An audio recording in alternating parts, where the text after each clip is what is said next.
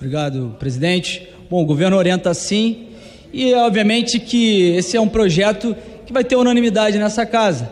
Porque a pedofilia, todos os crimes que caracterizam um ato de um pedófilo são crimes bárbaros, grotescos, nojentos e que causam tremenda repulsa na sociedade.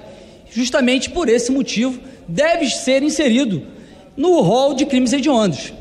Mas é necessário restabelecer a verdade.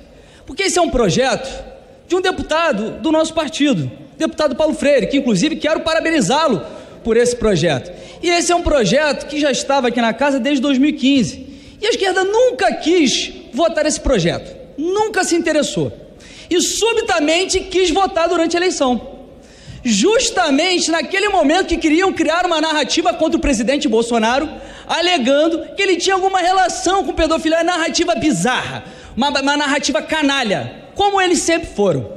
E agora, de forma oportunista, tentaram colocar para inverter a pauta durante a eleição, tínhamos já uma pauta montada, e nós rejeitamos a pauta. E a esquerda e vários influenciadores, como Felipe Neto e vários outros, disseram que os deputados do PL, a base do presidente Bolsonaro, foi contrário a esse projeto. Uma canalice. Canalice. Porque o projeto do nosso partido e o projeto é óbvio que nós somos favoráveis.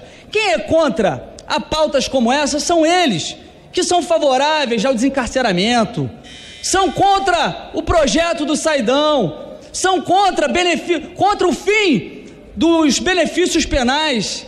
Eu vou além, esse projeto é aprovado aqui, mas nós temos que fazer com que o pedófilo não tenha o direito de progressão de regime e liberdade condicional. Aí vamos ver se o PT à esquerda vai votar favorável. Obrigado.